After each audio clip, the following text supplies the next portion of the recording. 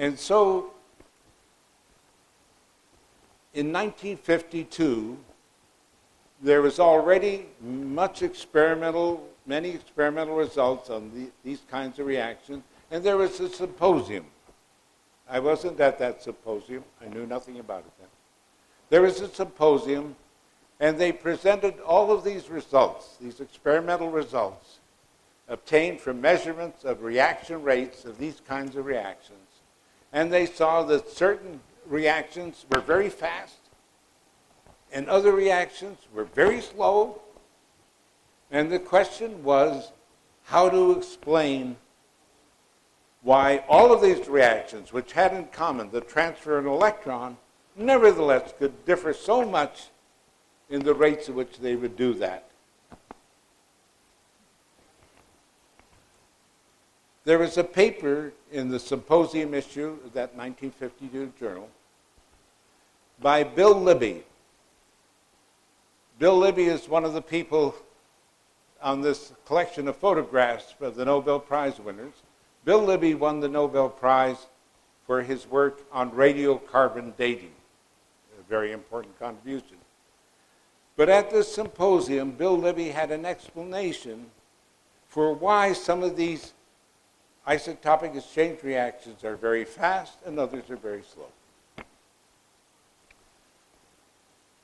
Several years later, I happened to be in the library and just leafing through journals and saw that symposium and saw this article of Bill Libby.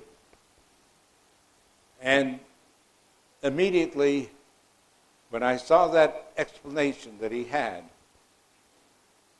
he applied what is called the Franck Condon principle, a principle that was developed in the 1920s but was developed for not reactions, but for understanding this, the sort of spectroscopy, the light absorption of molecules and certain of their quantitative properties.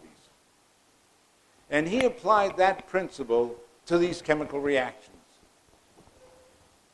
I had previously worked on various things in, in chemical reaction rate theory, but this was entirely novel. And you know what it's like in your own fields when you see something that's novel, unexpected, that comes up in your field, and you get very excited about it. And so I got very excited about it because it was so new, so novel. And the idea that he had was an idea in basic physics applied to these reactions. The idea was this when an electron jumps from one reactant to the other, it does so, when it can do it, it does so very, very quickly. So quickly that the heavy atoms, they're all heavy compared with an electron, the heavy atoms don't have time to move during that jump. They're frozen for a moment. And he recognized then that if that happens, all of a sudden the new charges, the electron is now in a different place, the two ions now have new charges. All of a sudden these new ions that normally would be in a nice environment that the, they would like the way the solvent molecules are orient, oriented towards them, they're in the old environment, not the environment that's appropriate for them. And he realized that therefore with that electron jump, all of a sudden you produce a high energy system.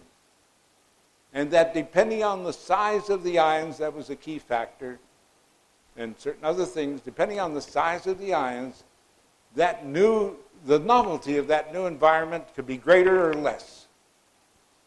The smaller the size, the more novel the environment, so to speak, the more strange the environment, the more wrong the environment, because was used to the old forces used to the old forces, would be.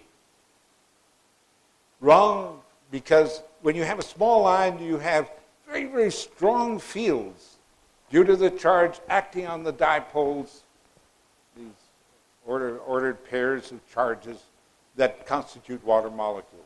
Water molecules, a dipole, orients towards the charge. And so small ions had very large barriers very, very large increases of energy, and we're slow, and vice versa. So he was able to explain why some of these simplest reactions in all of chemistry were slow and why some were fast. As I mentioned, when I came across that article, I was excited. Here was something new and seemingly correct. But then as the day wore on, I began to feel uneasy. Perhaps you've seen it in your own fields, your own fields. That sometimes somebody has an idea in that field. And maybe at first glance that they seem right. But then as you think about it more, you can think of why it may not be right. Well, that was the case here. Libby's idea of applying that principle that when electrons move, they do so so quickly the nuclei don't, the atoms don't have time to move. That was right. But what was wrong, I realized, was that yes, the electron jumped. The energy was now much higher because the new ions were in the wrong